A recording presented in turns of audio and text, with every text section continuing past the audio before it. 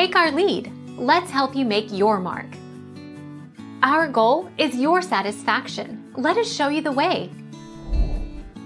100 square feet. How many square feet is a 10 by 10 room? The square footage of a room 10 feet wide by 10 feet long is 100 square feet. Find the square footage by multiplying the width 10 feet by the length 10 feet.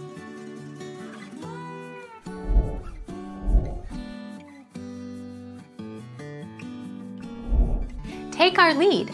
Let's help you make your mark. So the size of a 1000 square foot building is any number times any number that equals a 1000.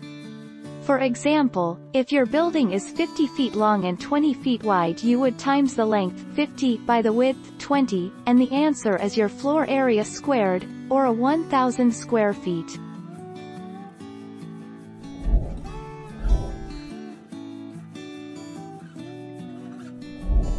Make your mark. Take our lead. 25 square feet. 5, x 5.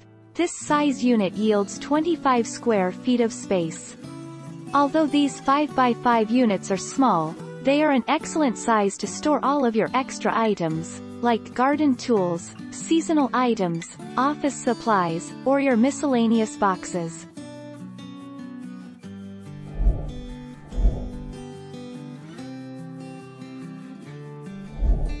Make your mark. Take our lead.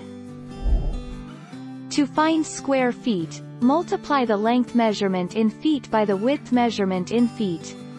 This yields a product called the area, which is expressed in square feet or square inches if you are calculating a much smaller space, such as a dollhouse.